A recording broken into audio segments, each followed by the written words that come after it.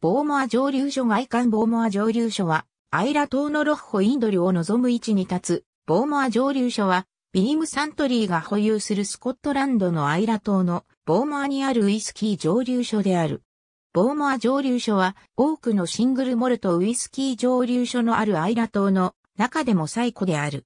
アイラ島の蒸留所の中で唯一エリザベス2世女王が訪問。その時には専用のウイスキーソンを作って歓迎。その後も倉庫の奥に飾っている。創業開始は1779年。しかし、経営が悪化してからはオーナーが変わり続けた。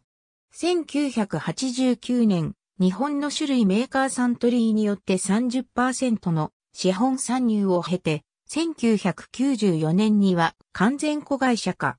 以降サントリーがボーモア蒸留所のオーナーである。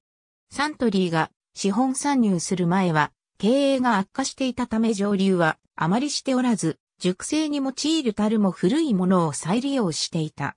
サントリーは資本参入後、経営の立て直しを実施した。ボーモア蒸留所では、ピートの影響の濃いラーガン川を仕込み水の水源とし、バーボンソンやオロロソ、シェリーソンによる熟成を行う。ソンの熟成庫は海に面し、一部は海水面より下にある。サントリーはボーモアをアイラモルトの女王と表現する。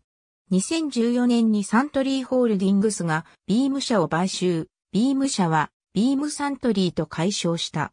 現在はサントリーホールディングスがビームサントリーを介してボーモア蒸留所を所有している。前述の通りサントリーがオーナーであることから日本から輸出される山崎並びにシラスや響きのイギリス国内の発売元も担当している。ボーモア蒸留所で作られるシングルモルトウイスキーはボーモアの名で流通している。日本ではサントリースピリッツが正規輸入元、サントリー種類が販売元である。テイスト製品ラインナップ。ありがとうございます。